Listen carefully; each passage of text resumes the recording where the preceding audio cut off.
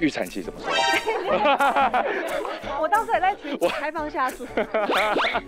好事真的近了吗？由真原创柯佳燕特别出演的末日爱情影集《无神之地不下雨》即将上映。戏外是多年好友的两人，这次却是首度合作，默契火花都是绝佳。上一秒跟我嘻嘻哈哈，就我去配音播出的时候，我一看他那颗镜头，想说怎么回事？状态怎么回事？眼眶含泛泪，觉得他很。很厉害，真的不愧是小钟哥。我也我也很喜欢跟嘉燕姐合作。对，我觉得嘉燕她有一种冷面笑匠的那种特质，所以她蛮适合拍喜剧片。把我们的幕后花絮剪一剪，应该可以出一个就是搞笑版的武神。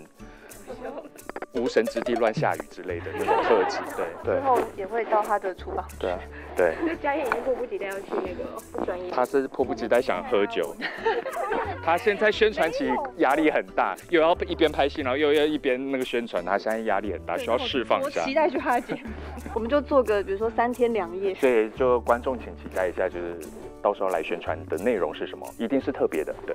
在不专业厨房和明星好友们开喝大聊，绝对是粉丝最期待的环节之一。而日前好友林依晨也传出怀孕喜讯，郑元畅当然是准干爹喽。我们恶作剧有一个群组，所以大概是比一般的媒体在早一个多月前就已经知道，所以当下就是我们群组里面的爸爸妈妈都很开心。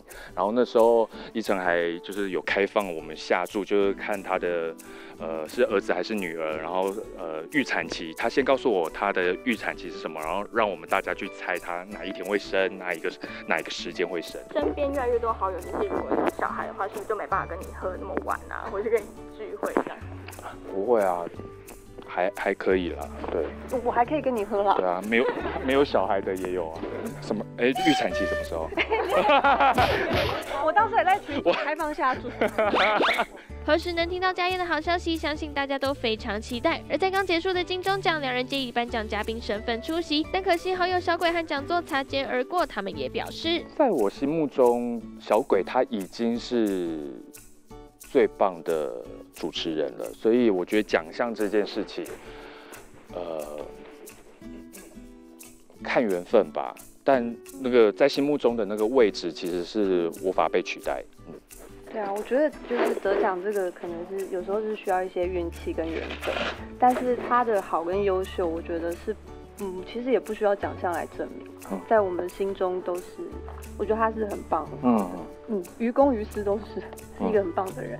对于金钟奖，小鬼在心中留下更深的意义，不过也要期待在明年的典礼上能看到郑元畅、柯佳燕以新作品和大家相见啦。完全乐圈圈蔡长龙采访报道。